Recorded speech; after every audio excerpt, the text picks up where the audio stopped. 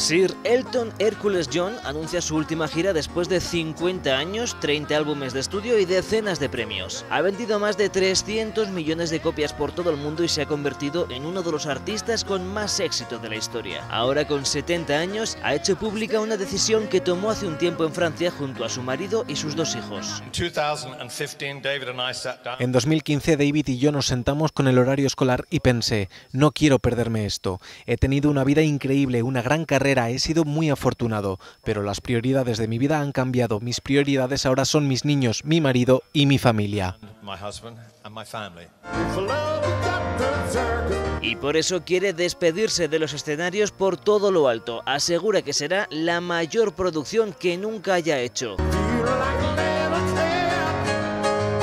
Una gira mundial de 300 conciertos durante tres años que comenzará el próximo mes de septiembre en Las Vegas. Quiero salir con una explosión y dar las gracias y dejar a la gente pensando, Dios, fui a su última gira y fue fantástica. Dejará los escenarios, pero Elton John seguirá escribiendo canciones que formarán parte de la historia musical.